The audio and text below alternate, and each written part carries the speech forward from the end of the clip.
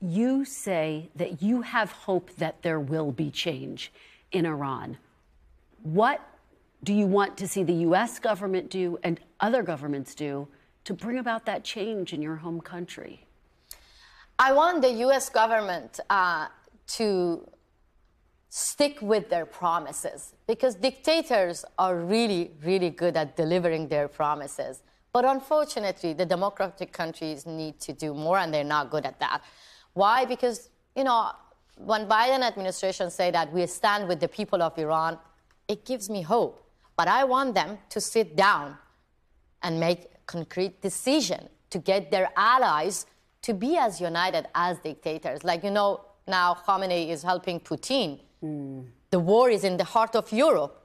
Khamenei and his gang of killers uh, are helping Hamas.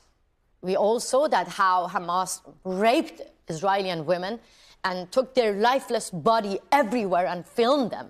This is in the DNA of the Islamic Republic. So we are facing two wars, one in the Middle East, one in the heart of Europe. Islamic Republic is backing both of them. So I want the US government to, you know, take the lead and ask its allies to designate the Revolutionary Guards as a terrorist organization and help us to have an Iran without Islamic Republic. Because believe me, we, the people of Iran, are better allies compared than these backward mullahs for Americans.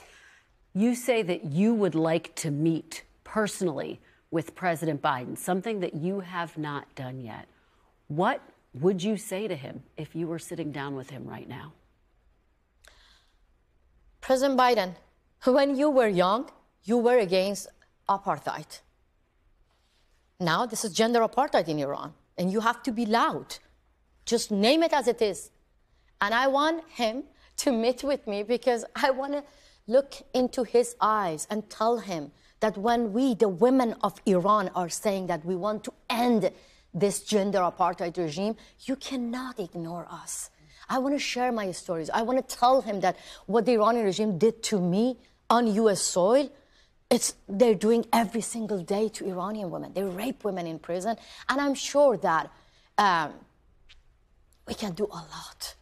We can do a lot. And if you don't even want to meet with me, I'm not a criminal, then how come the US government trying to negotiate with my killers? That's not fair. So for me, meeting is not just for my personal benefit. I want to give a picture of an Iran without Islamic Republic, and the US government can have a policy, a strategy for like after these uh, killers a secular democracy Iran. They're not ready for that.